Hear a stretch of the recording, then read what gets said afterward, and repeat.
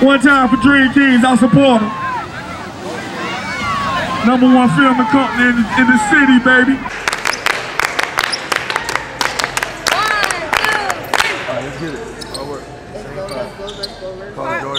Hard work on three. One, two, three. Hard work. In Jesus' name on three. One, two, three. In Jesus' name. Let's go, Shorty and Sonny. Let's go. Hurry up. Thirty, Sonny.